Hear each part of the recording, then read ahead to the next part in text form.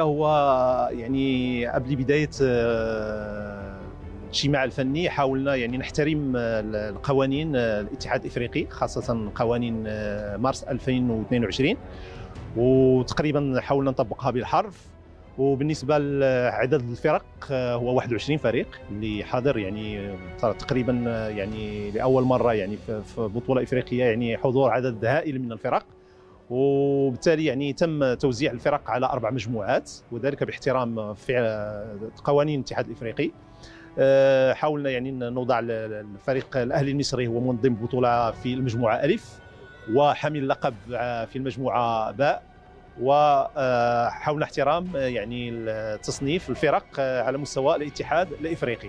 وبالتالي كان عندنا فيه أربع مجموعات المجموعة الأولى فيه خمس فرق المجموعة الثانية فيه خمس فرق. المجموعه الثالثه ست فرق والمجموعة الأخيرة أربع فرق.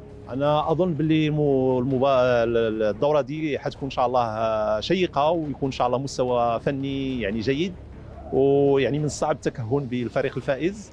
وأظن أن إن شاء الله الفرق يعني فعلا على المستوى الإفريقي عرفت واحد التطور اللي هو كبير. ونتمنى إن شاء الله نشوف كرة الطائرة في مستوى عالي. وإن شاء الله الفريق اللي يكون بطل يمثل إفريقيا بالشكل المناسب إن شاء الله. والله